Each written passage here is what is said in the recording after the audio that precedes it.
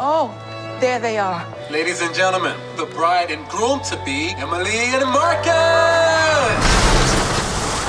What the hell is that? You son of a bitch!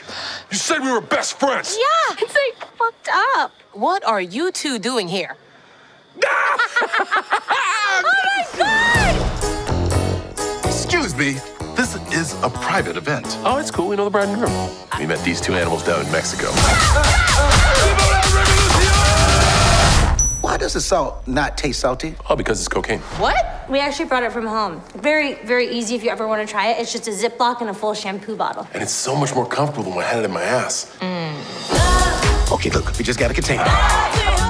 It's only happening because you said see you later. I said it without meaning it like any decent person would. and somehow he's charming my dad. Hope you're comfortable letting them force him. Oh, as long as there's at least one girl involved. Everywhere they go, Fuck you, you baby big little bitch! chaos happens. This weekend is all about you. Well, I like the sound of that. We do too. Jesus. Good evening, everyone. What is he doing up there? Marcus and I crossed paths in Mexico. Get to know each other intimately. Wedding I've ever been to. Put that bottle on your head. Babe, he's not serious. We've been drinking. And... Count it! You hit the bottle this time! What the fuck? Fucking awesome!